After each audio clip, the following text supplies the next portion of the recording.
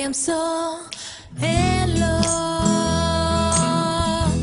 I've got no hope. My shakes. My heart breaks.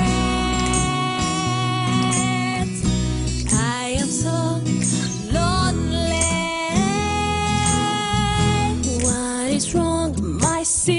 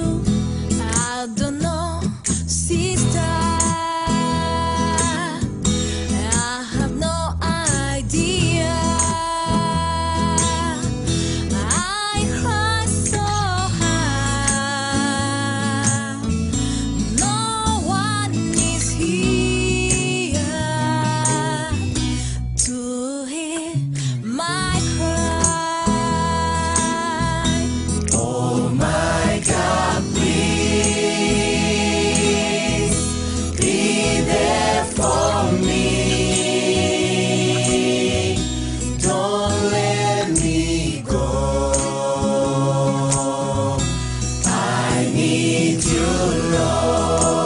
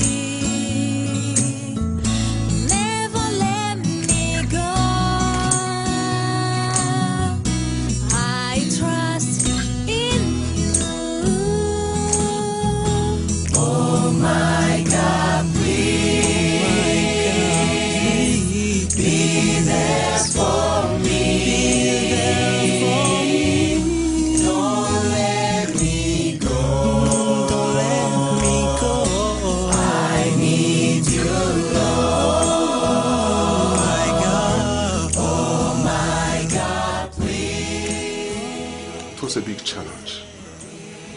We cannot replace people. Yes, material things, yes. But human beings, it's impossible. Because I believe one person is unique, cannot be replaced. And then, while bargaining with God and asking Him really that is something impossible He's asking me to do, and then it was just like a veil which was removed from my eyes. I came to understand. Definitely. I have no parents.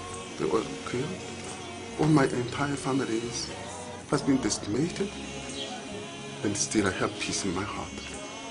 And I believe, ah, it is God who gives me peace, who comforted me. So it's good to show these people the same God who is able to comfort. Because he did it for me, he can do it for them. Most of the work we do, we are able to do it because of various and different people, individuals and organizations from the United Kingdom. So we are so thankful to all these people because without them, definitely comforting these people would be harder than it is today. Thank you very much.